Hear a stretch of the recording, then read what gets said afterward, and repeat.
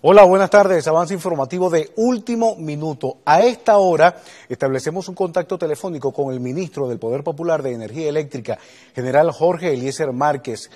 Buenas tardes, ministro. ¿Qué información nos tiene a esta hora? Adelante. Buenas tardes.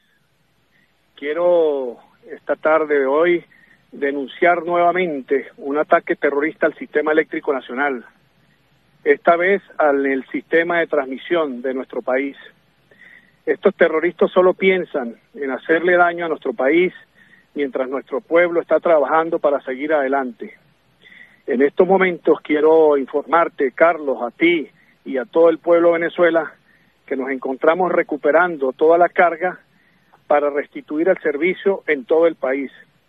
Quiero también, Carlos, aprovechar este espacio que me das para agradecer a toda la clase trabajadora de Corpuelé que incansablemente está trabajando para dar respuestas en la restitución del servicio.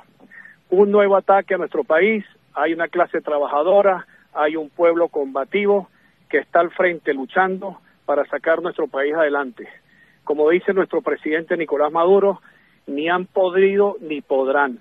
Aquí estamos los trabajadores del Ministerio de Energía y la clase trabajadora de Corpolé trabajando incansablemente en la restitución de este servicio.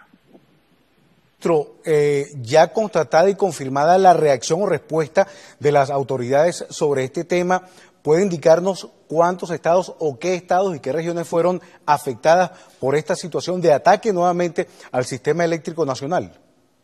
Sí, Carlos, con gusto. Este ataque afectó aproximadamente el 25% del país.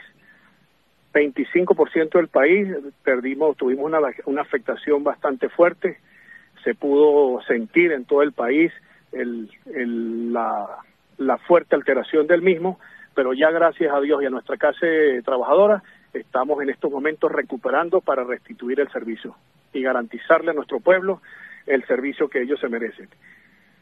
Por último, ministro, ¿hay un tiempo estimado para recuperar el servicio eléctrico en las zonas donde eh, hubo la afectación? Sí, correcto. Es cuestión ya de una hora, 40 minutos, estaremos en todo el país ya al 100%.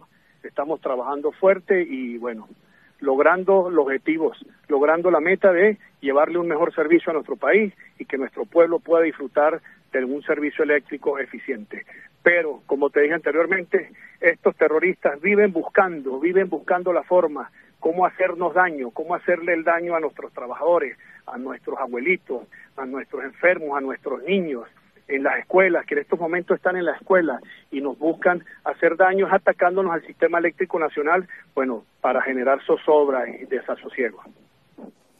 Muchísimas gracias, ministro Jorge Eliezer Márquez, ministro del Poder Popular de Energía Eléctrica, a propósito de esta valiosa información sobre la respuesta que están dando las autoridades en este momento a propósito de este nuevo atentado contra el servicio eléctrico, el sistema eléctrico nacional. De más está decir, estaremos informando cualquier detalle en cualquier momento a través de las diferentes emisiones de la noticia. Pueblo venezolano, por su atención, muchas gracias y atentos ante cualquier situación en, este, en esta programación. Buenas tardes.